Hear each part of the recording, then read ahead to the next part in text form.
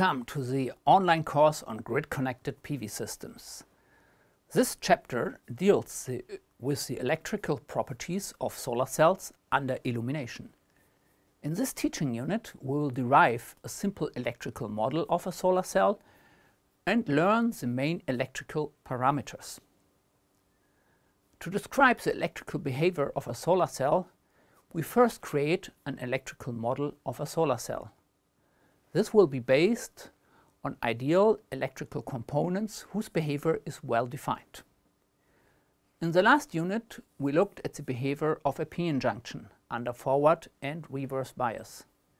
We have found that under forward bias a current flows in forward direction through the p-n junction, while under reverse bias a low current flows in reverse direction, the reverse saturation current I naught. We have also learned that in the dark a solar cell behaves like a diode. We therefore replace the representation of the p-n junction with the electrotechnical symbol, symbol of a diode. Note that the conventionally agreed direction of the electrical flow points in the direction in which a positive charge would move, so exactly opposite to the direction of the electrical electron flow. The technical current direction therefore points in the same direction as the tip of the triangle of the diode symbol. We define the diode current ID. If a current flows in forward direction, ID is positive. If a current flows in the reverse direction, ID is negative. The electrical behavior of a diode can be described using the so-called Shockley equation.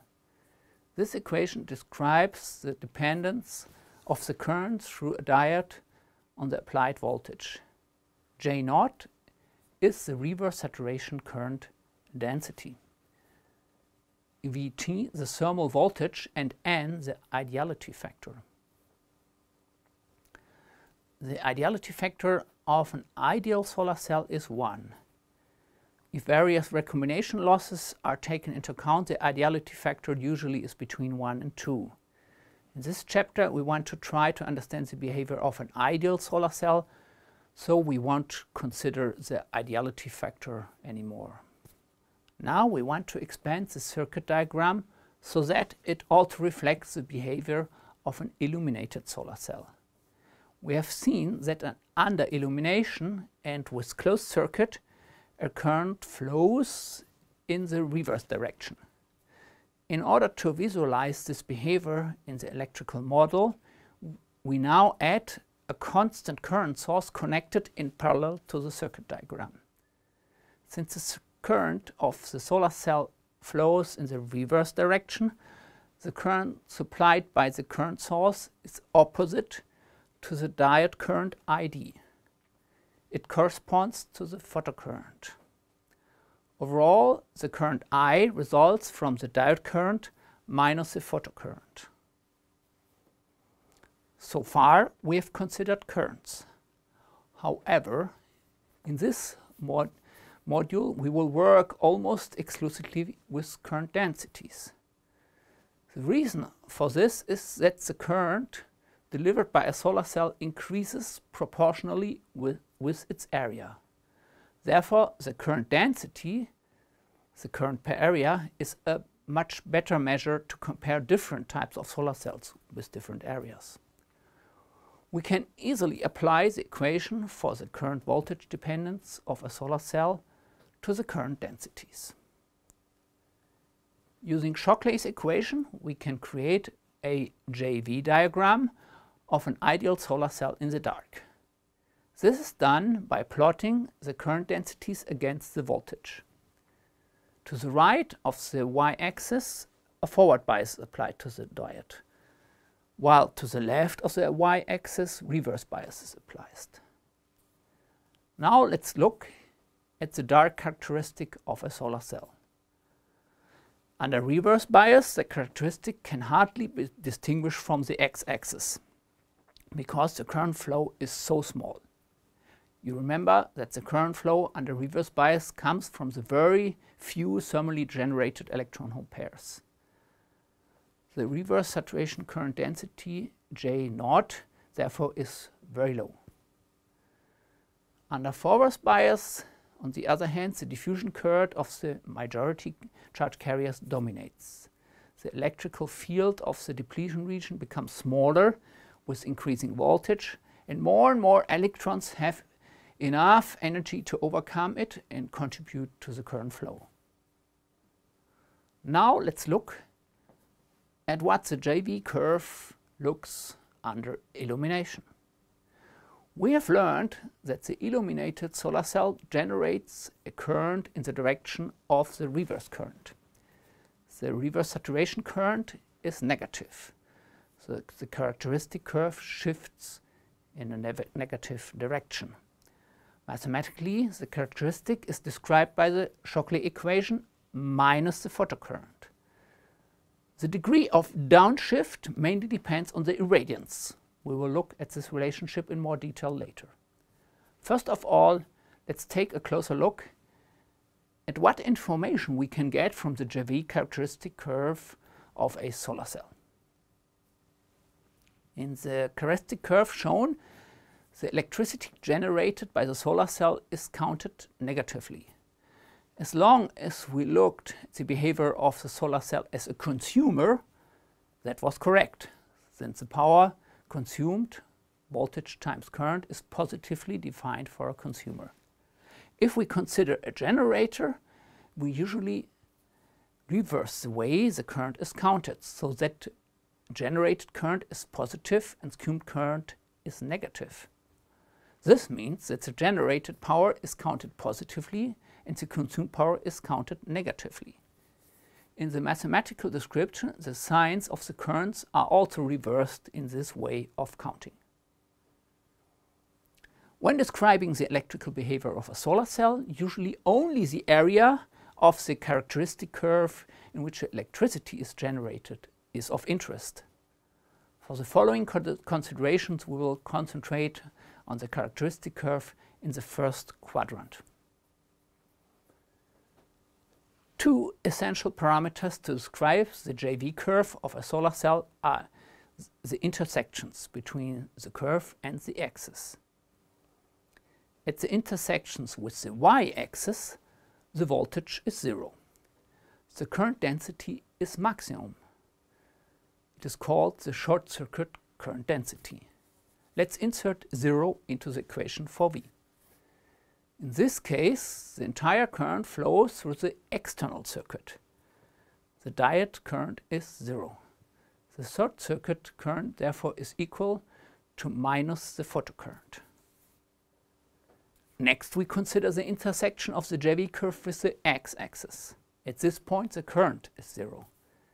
That is the case when the circuit is open. The voltage that builds up at the open terminals is called open circuit voltage, VOC. Let's insert for the current in the equation 0.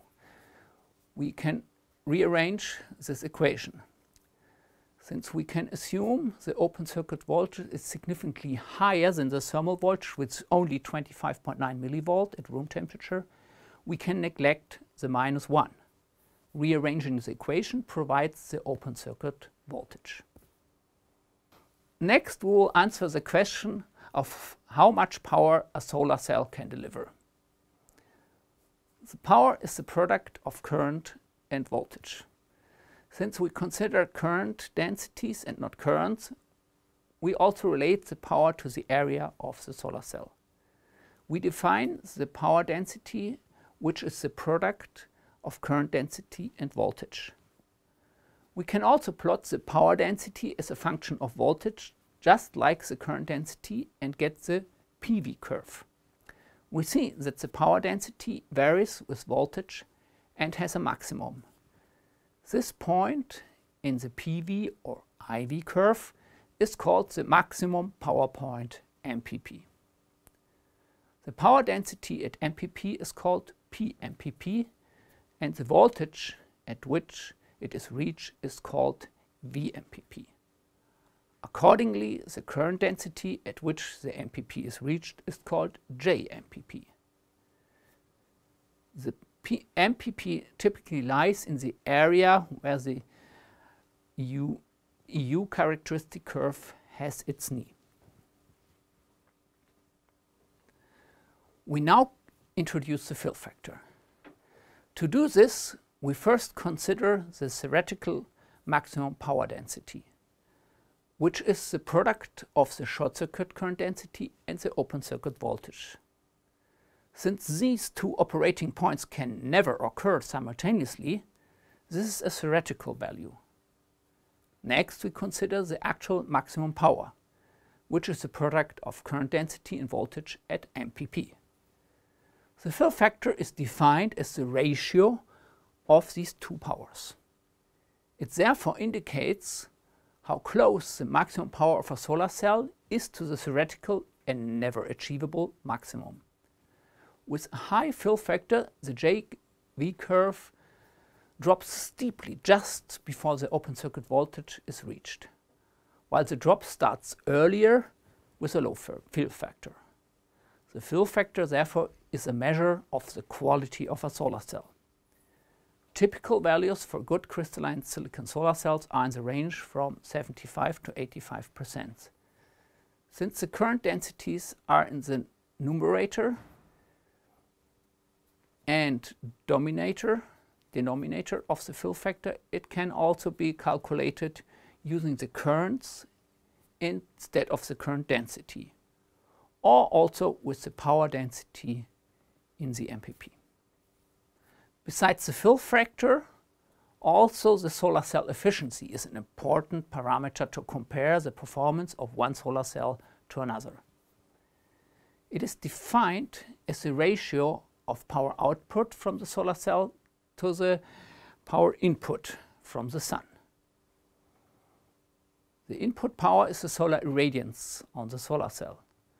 The maximum possible output power is the power in the MPP. The MPP power can be replaced by the product of fill factor, open circuit voltage and short circuit current. We summarize.